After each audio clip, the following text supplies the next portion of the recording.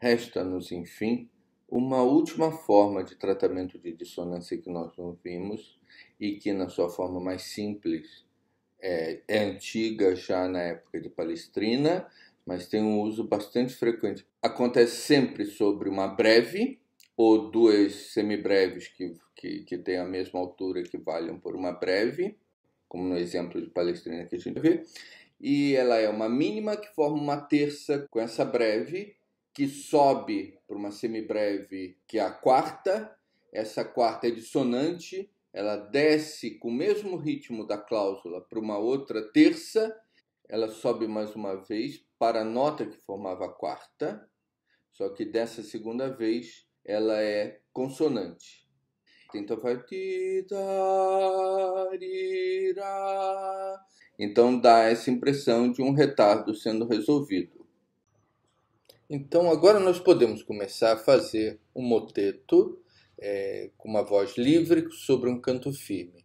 Nós vamos tomar um, um gregoriano, Adiuro vos fili Jerusalem, que é um trecho do canto salomônico, do qual existe um moteto a cinco vozes por palestrina, e vamos compor uma segunda voz, uma voz livre sobre esse canto firme.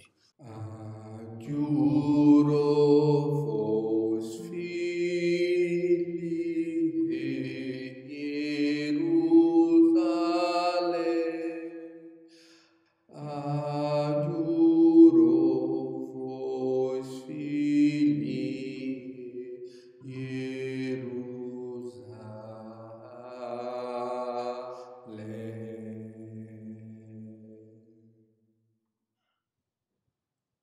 A primeira constatação a ser feita é que essa frase se divide em duas partes, é, com uma repetição, e como tal, eu devo imaginar também que o moteto vai ter ao menos duas frases na voz livre.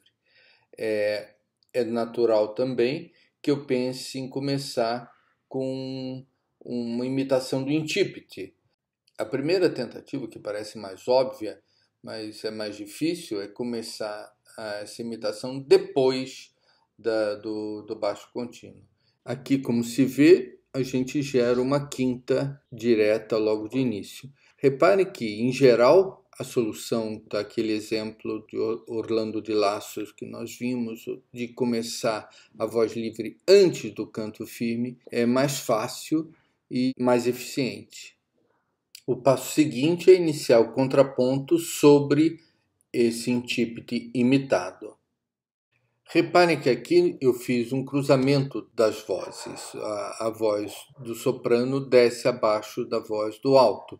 Quando vocês ouvem, vocês percebem que há uma perda da presença da voz do soprano, que não fica mal, porque é o fim da palavra, filie. e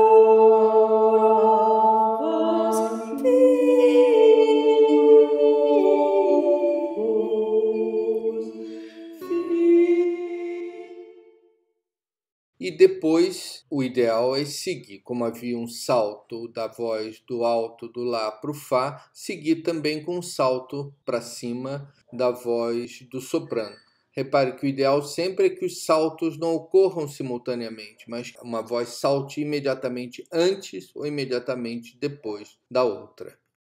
Como a voz em contraponto livre tem mais notas para pôr texto, aqui eu repeti a palavra filhe, filhe, e aproveitei para fazer coincidir o fim da, da, segunda vez da palavra filhe com a palavra filhe do canto firme, por um retado no meio. Preste atenção também que aquele sol é assinalado, aquela semínima sol, é a primeira semínima que se segue por um movimento descendente a uma nota de valor mais longo do que ela, ou seja, ela pode ser dissonante. De fato, aqui ela é uma segunda dissonante, mas o Lá que vem antes rouba o acento dessa nota. Essa nota, na verdade, não tem acento. Ela participa da ornamentação desse primeiro retardo de quarta em terça que conclui essa primeira semifrase.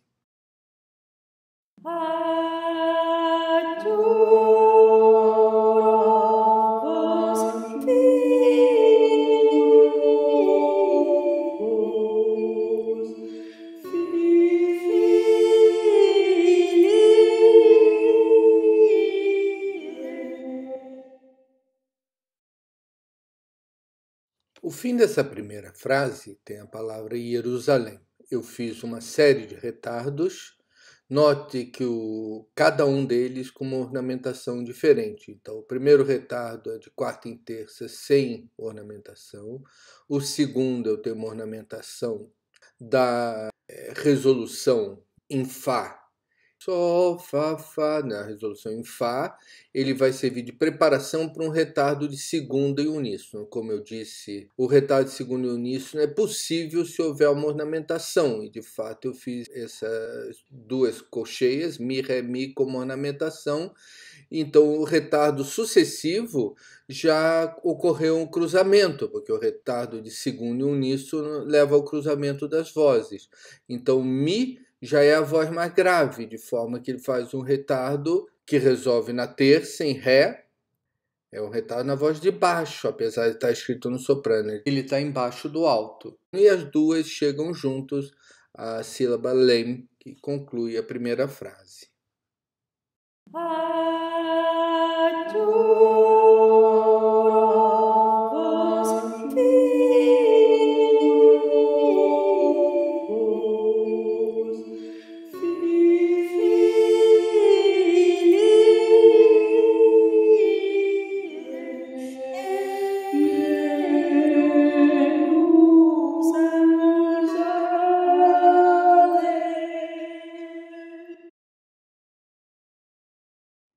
No caso da segunda frase, teria sido possível começar com o incipit antes do fim da primeira frase do canto firme ou depois.